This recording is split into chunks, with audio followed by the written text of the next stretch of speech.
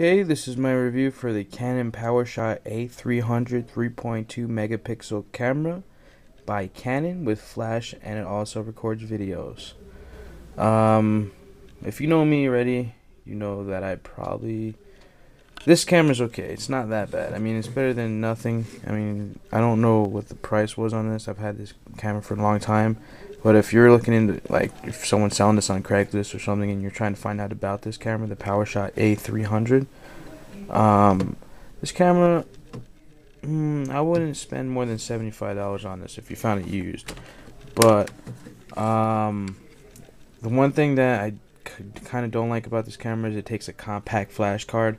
Me personally, I use a lot of um, I use mostly SD cards, so um, that's not really good for me. The, the one thing is good about this one, it doesn't have an internal battery. You could put double A's in here and you can get rechargeable batteries, which is actually pretty good. That is one of the good things about it. Um, the actual quality, it does good with um, when you have natural lighting or other kind of lighting around. Um, that's when this camera and pretty much any camera is gonna be you're gonna see the best of that camera. Um, but if you can't get good lighting set up, this camera is good. Um, otherwise, it does have a light on there that you can use. Um, it has 5.1 um, digital zoom, so there's no optical zoom on that, obviously. Um, but the movie mode's good. But if you're looking for pictures, um, this phone, this this uh, camera is actually the way to go.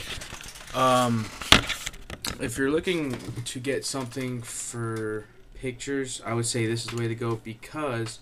Um, the pictures are pretty good on here. I, know, I don't really go with pictures, but the screen on the back, it could have been a little bigger. This camera is a little bigger than um, I would expect. It, you know, it's an older camera, obviously. Um, but the operating system or the, the menus and stuff like that on this are easy to use. Buttons, everything's user-friendly.